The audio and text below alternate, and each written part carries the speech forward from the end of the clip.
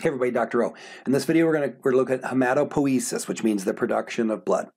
So obviously your cell, your blood cells are constantly being replaced. You have to produce about 2 million, give or take, new red blood cells, erythrocytes, every second. And most of your white blood cells are only going to live for hours or maybe a couple of days. Now that's not counting your memory cells, which we'll cover when we get to the immune system later. So these cells are constantly being turned over, and then occasionally we lose blood, whether it's from bleeding or um, donating blood. Like if you you know if you donate blood at the at the blood bank, uh, within 24 hours, the plasma, the water, the fluid portion of your blood will be replaced, but it takes weeks, four to six weeks for all these cells to actually um, completely restock, which is why you're limited to how often you can donate blood.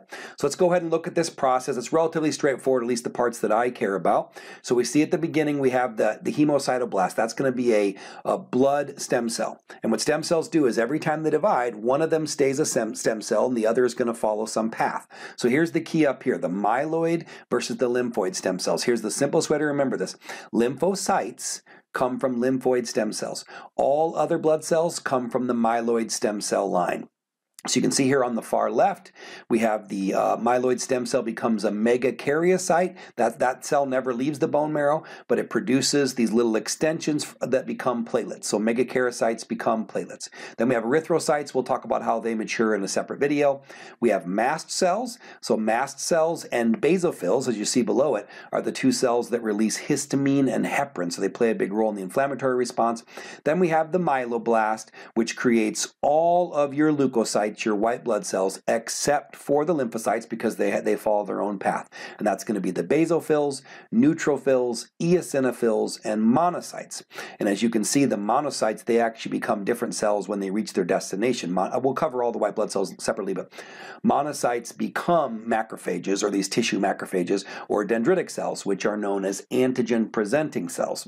Again, much bigger deal in the immune system than now. All right, the lymphoid stem cells, they're going to make all your different types of lymphocytes. We have the natural killer cells, which their, their function is to look for abnormal cells, either cancerous cells or cells infected with viruses.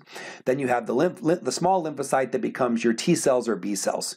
So T lymphocytes or T cells are called that because they go and mature in your thymus gland. B cells are called B cells because they mature in the bone marrow.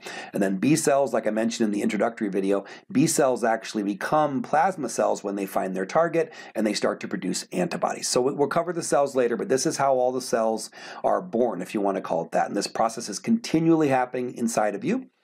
Uh, big picture though, lymphocytes come from lymphoid stem cells. When in doubt, every other cell type started as a myeloid stem cell. All right, so that is hematopoiesis or blood cell production. Have a wonderful day. I hope this helped. Be blessed.